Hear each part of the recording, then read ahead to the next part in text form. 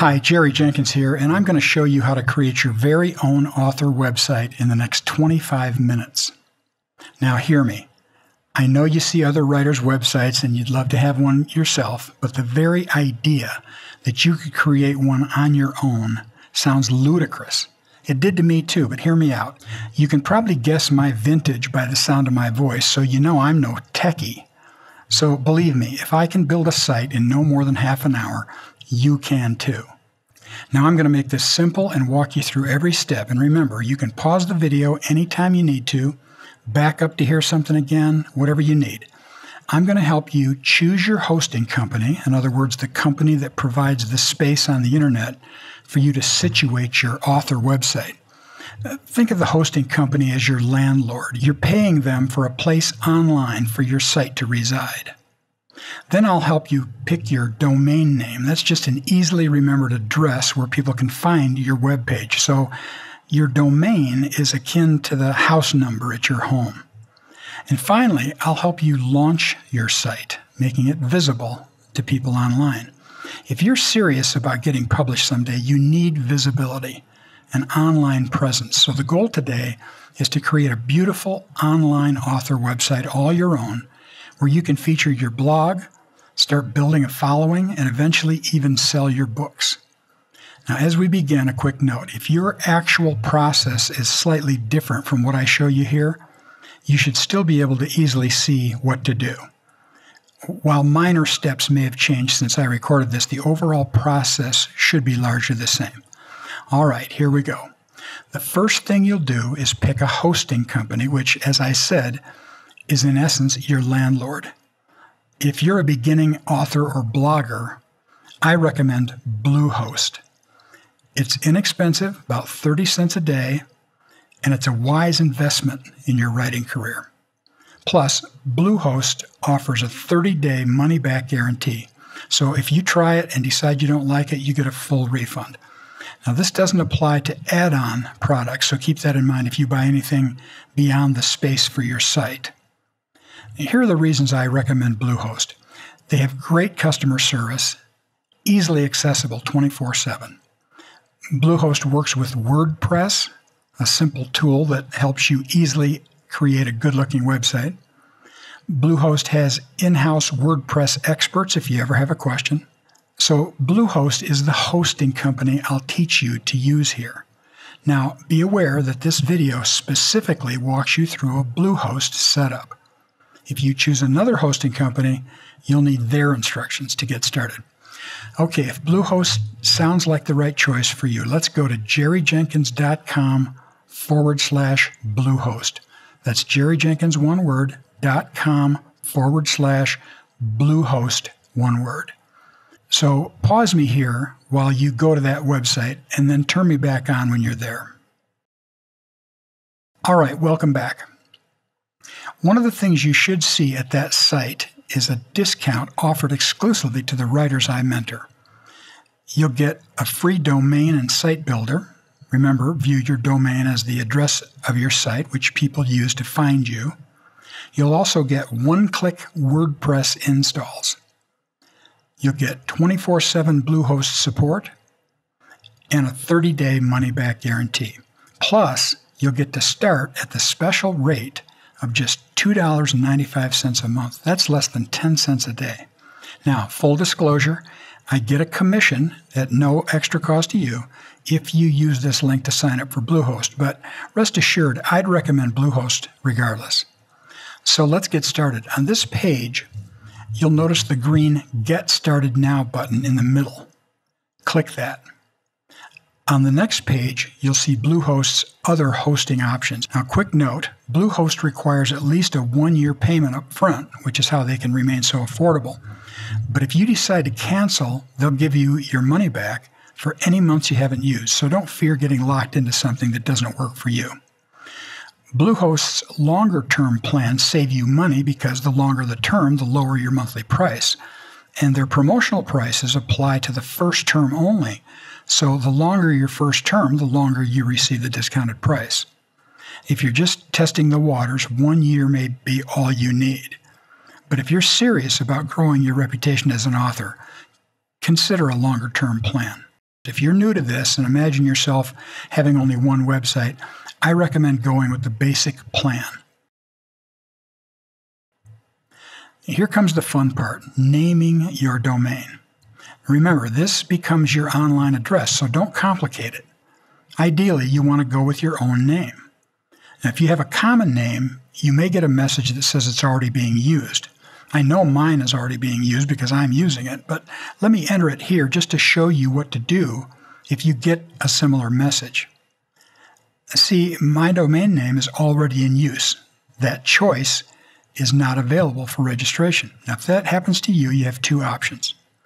First, you could try a different extension. That's that little abbreviation at the end, which is usually .com. Now, .com is preferred because it's the most common, but .net or .co work just as well. You want .com if at all possible because people are so used to keying that in, they might miss that yours is different and have to figure out what's wrong. Obviously, you want to make it as easy as possible for people to find you. Many who hear of you or about you and don't even know whether you have a website will often simply try your name.com. So, your second option, if your name's in use, is to try variations on your name and keep that .com extension. The key here is to keep your domain name simple. For example, if your name were Timothy Woodford, you might add your middle initial or use Tim instead of Timothy. Or you can add a word like timothywoodfordwriting.com. But don't get cute here. Don't identify yourself as Susie Writer Chick or Cowboy Penman Josh. The whole point of this is visibility for you. So you want to use your own name and appear professional. Uh, Timothy Woodford's great writing website.com is bad. Imagine giving that address to an agent or a publisher. I'm going to use the fake name here so we can get the simple .com web address or URL. Now, URL stands for Universal Resource Locator, but all you need to know is that it's simply the address one types in to go to a specific web page.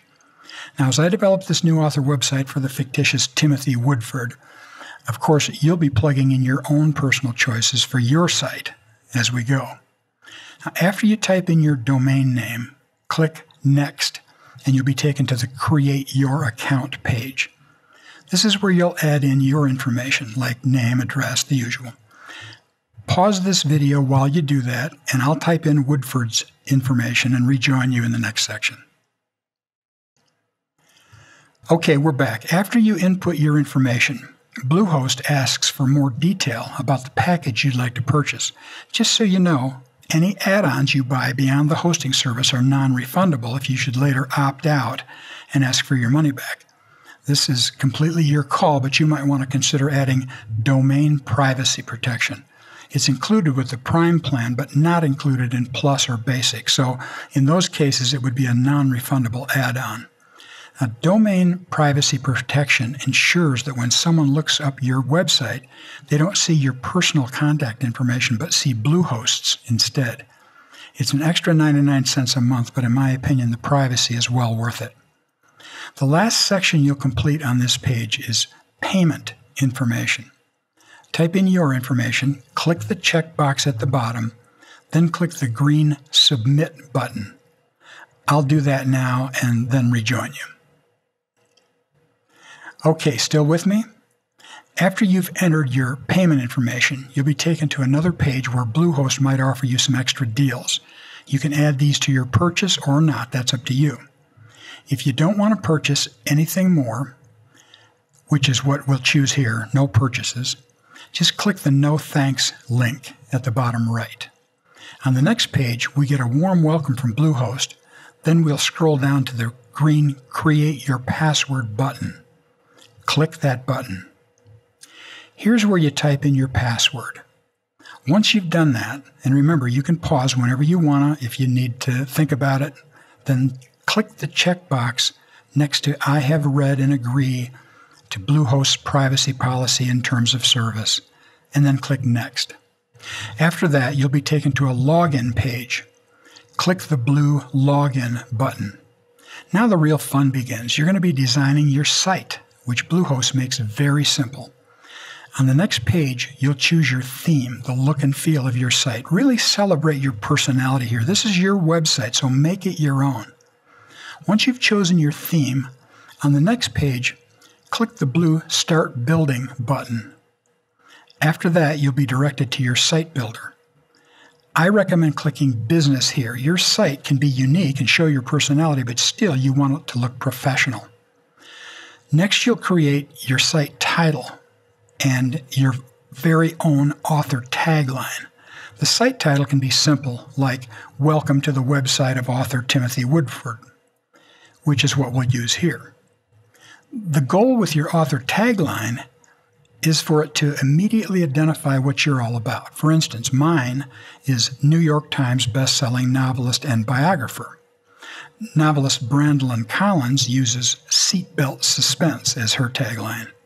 DiAnn Mills uses expect an adventure. Jean Oram has a great post on creating author taglines, which I'll link to in the description of this video. Now, you'll want to invest enough time to make your tagline exactly the way you want it. But for now, just find something that works. Then you can come back to this later and revise it if you wish. Your tagline will go under Site Description. Now, here, for our made up user, we'll say Historical Fiction with a Modern Twist. After you create your tagline, click Next Step. On the next page, you'll be asked if you'd like to update your site with news or blog posts. I recommend clicking yes, even if all you enter here for now is a paragraph saying, Welcome to my new blog. Check back here on such and such a date when I plan to write on whatever subject you choose. See you then. You'll want to write and post blogs to build a following of readers interested in your bigger projects like books, but who also want to keep up with what you're doing and hear from you regularly. The next page is going to ask what you want visitors to see on your homepage. I recommend a static welcome page here, one that doesn't change, to let visitors get acquainted with you and your site. This is a great place for a photo of you and a quick bio. More on those in a minute. The next page asks if you'd like WordPress to create a Contact Us page. That gives visitors to your site access to you. I recommend you click Yes here. If you're like me, this will quickly become one of your favorite features. I love to know people are visiting and what they think. But of course, the best benefit is giving agents or publishers a quick way to reach you if they happen to see something they like. While that may seem a remote possibility right now, agents and editors discover new authors this way every day. The next page asks if you'd like to connect your Jetpack profile to WordPress. Jetpack is a statistics tracking program some website owners love and others ignore. If you're a numbers person, it'll help you analyze the effectiveness of your site. You can determine later if it's something you want to pursue. For, for now, let's click Not Now. You can always come back to this later. On the next page, you have the option to add business information. Be careful not to include your personal address here. I recommend clicking Not Now on this page. The next page allows you to customize your site. Let's wait on that for now too. Click the blue X in the right-hand corner of the window. After that, you'll be taken to your Bluehost dashboard. Find and click Pages on the left side. Then, find the sample page, hover your cursor over it, and click Edit. You're going to do a few things on the next page. First, change the page's title to writing. Next, change the URL extension to writing. You want it to match the page's title. Now, as I mentioned earlier, URL stands for Universal Resource Locator, the address to a specific web page. The extension is what comes after that web address. So combined, these form what WordPress calls a permalink. For this example, the permalink would be yourwebsitename.com forward slash writing. After you change that extension, click the OK button. Next, you want to add a description of your writing. Keep in mind two things as you do this brevity and professionalism. Include what visitors would want to see, and your most important visitors will be publishers and agents. Write in first person, mention any of your projects you care to, and add permalinks to them if you can. If you need someone to show you how to do that, look for a young person.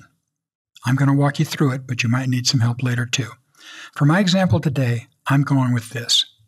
I'm a fiction author who enjoys adding modern twists to key historical events. Ever wondered what the American Revolution would have been like if people had telephones? Me too, so I wrote my first novel about it. Click here to purchase extension 1776. Now, once you've entered a description of your own writing, click the blue Update button. Now, let's talk about how to make that sentence about purchasing the book an actual link to where visitors can buy your book. We want to make it so visitors can click on it to get to that other site.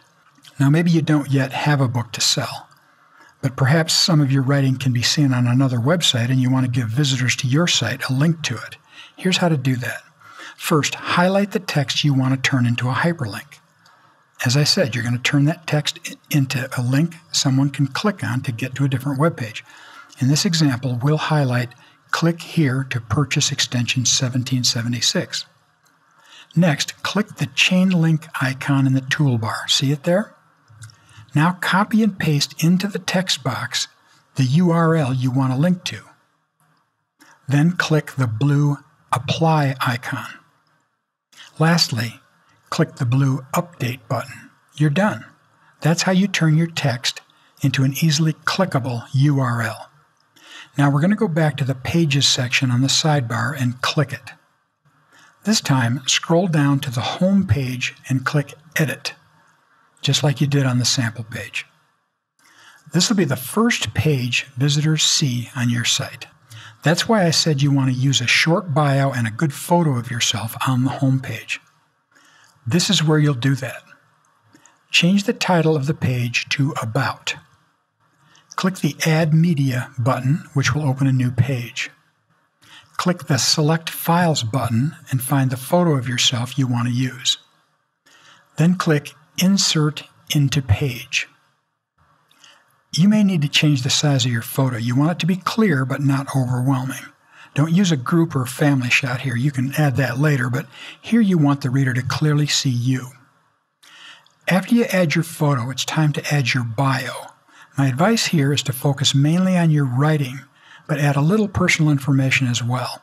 Readers want to know you're a real person, and they'll decide from this whether you're vain or humble, snobbish or accessible.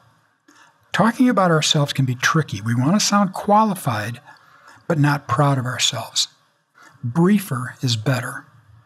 If writing about your children, lean toward something like, I'm the proud mother of three boys, rather than naming them and talking about each one. That might benefit them and make you feel good, but always think reader first. What most benefits the reader? Readers and agents and publishers want to know about you, but they don't need your life story.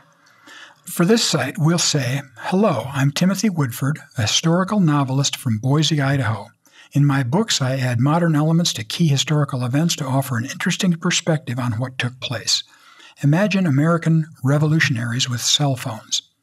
Click here to purchase my debut novel, Extension 1776, on Amazon. I also love cycling and spending time with my wife and two sons. Now we'll add a link to the phrase, click here to purchase my debut novel, Extension 1776, on Amazon. Once you're done, click the blue Update button. Now we're going back to the Pages button on the left side of the screen to edit the Contact Us page.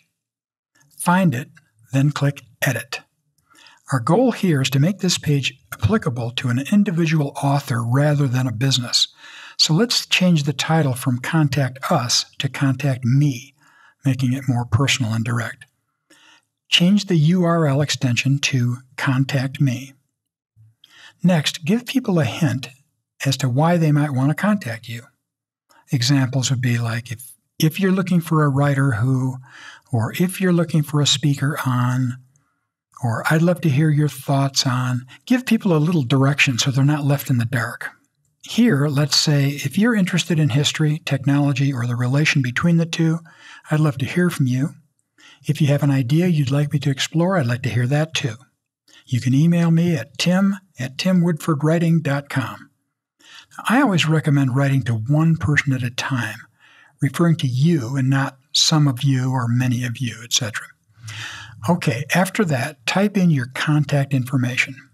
Nowadays, no one should need your actual home address, but give them all the other convenient ways to get in touch with you.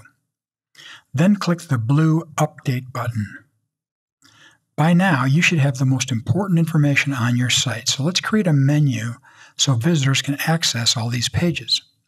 Scroll to the menus on the left side of your screen, find Appearance and hover over it, then click Menus. To create your menu, we're going to type Main Menu in the menu name box. Then click the blue Create Menu button. On the left side of your screen, find the Pages box, click Select All, and then click Add to Menu. After that, scroll down to Menu Settings and click the check box next to Automatically Add New Top Level Pages to this menu. Then click the checkbox next to Top Menu. Last, click the Save Menu button. Now, just two more steps before your website's ready to go live on the internet. Click the Bluehost link on the left side of your screen. Click the blue Launch button. You'll now see a new heading that reads Congratulations, your site is now live. Click the View Site button to see your new website. That's all there is to it you now have a, an author website.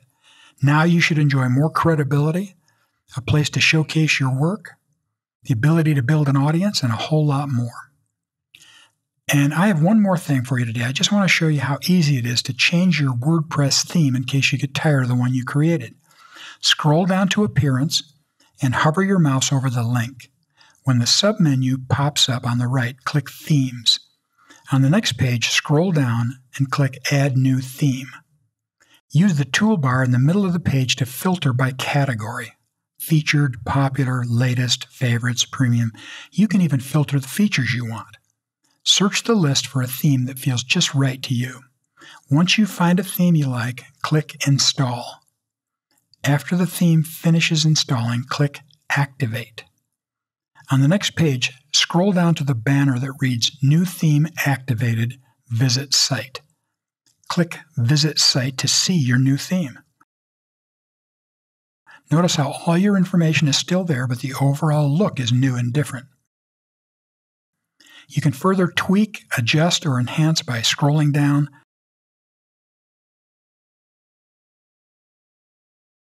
finding your theme, and clicking Customize.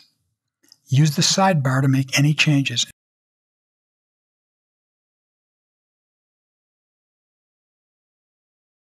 And when you're done, click Publish. And there you have it. You've created your author website. It should serve you well for years.